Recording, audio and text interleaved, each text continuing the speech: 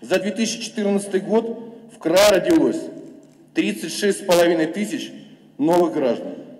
Показатели 2013 года превышены на 37%. Средняя заработная плата увеличилась почти на 9%. Объем валютных и рублевых вкладов жителей края за год вырос на 6,5%. Об эффективности работы власти нужно судить по качеству жизни людей, а не по количеству проводимых мероприятий, заявил губернатор Старополя перед краевыми депутатами. В Старополе прошло заседание Думы, на котором оглашен ежегодный отчет Владимира Владимирова о работе правительства за прошлый год и его доклад о перспективах социально-экономического развития региона. По словам главы края, в апреле Старополе впервые с начала года по объему собственных доходов бюджета вышло на уровень 2014 -го. Это стало возможным благодаря специальным антикризисным мерам, которые были приняты на краевом уровне. Оптимизацию расходов, как вы знаете, мы начали с себя. Отказались от крупных закупок, ужались в содержание аппаратов. И главное, ввели мораторий на замещение вакансий в правительстве, органов власти и государственных предприятий. Сэкономили уже на сегодняшний день порядка четверти миллиарда рублей.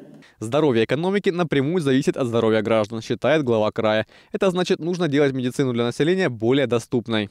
Поручаю Министерству экономического развития и Министерству здравоохранения в двухмесячный срок провести необходимые процедуры по централизации закупок медикаментов для лечебных учреждений края. Также поручаю Минздраву проработать вопрос договоров с заводами-изготовителями о прямых поставках в государственные аптеки лекарств по фиксированным ценам.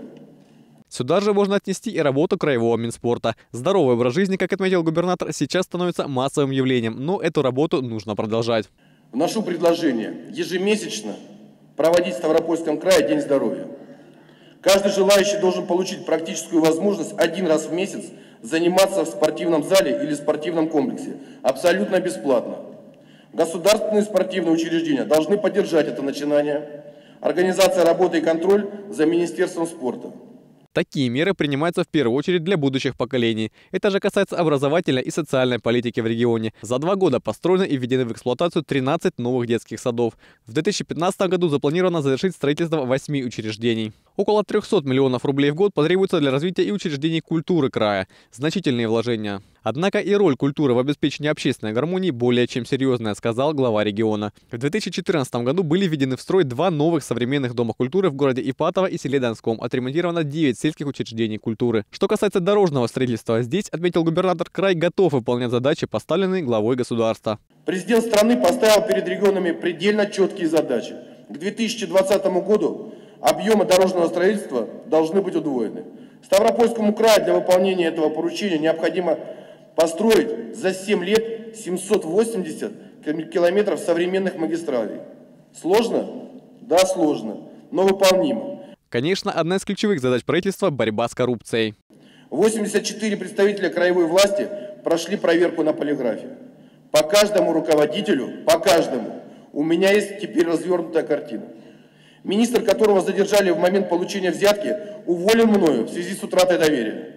Мы никого не покрывали и покрывать не будем. Но и общество должно стать нетерпимым к тем, кто берет взятки, и тем, кто их дает. Ставропольский край – территория закона и порядка. Где закон, там и инвестиции. Глава края заметил, что перспективной сферой для вложений сейчас становится коммунальный комплекс. Для модернизации сетей и строительства новых объектов необходимо около 500 миллиардов рублей. Но есть определяющее условие. Все объекты остаются в собственности края. Аудитория события более 700 человек. В их числе не только депутаты Думы Ставропольского края, но и члены российского парламента, руководители органов исполнительной власти региона, представители общественных организаций, главы муниципалитетов. В своем докладе просто губернатор э, более контурными сделал э, то, что предстоит, те задачи, которые нам предстоит э, выполнять. Причем речь идет не о каких-то абстракциях, а о каких-то конкретных, э, четких направлениях. Это главное. Главное, что я повторяю, все понятно, все очевидно. Повторяя, будем исполнять. Те тренды, которые прозвучали от нашего губернатора, безусловно, значит, мы обсудим и на круглых столах сегодня. И, безусловно, в своем коллективе подумаем, каким образом их реализовать, привести э, уже к каким-то э, результатам. Безусловно, люди от нас ждут результатов. Поэтому будем работать именно на результат. Отчет губернатора был принят депутатами единогласно. После доклада участники мероприятия разошлись по тематическим секциям, где на круглых столах обсудили важные для края вопросы. Все предложения специалистов будут рассмотрены и переданы правительству и главе края для дальнейшего развития региона. Марк Ветлицкий, Владимир Кириллов, АТВ, Ставрополь.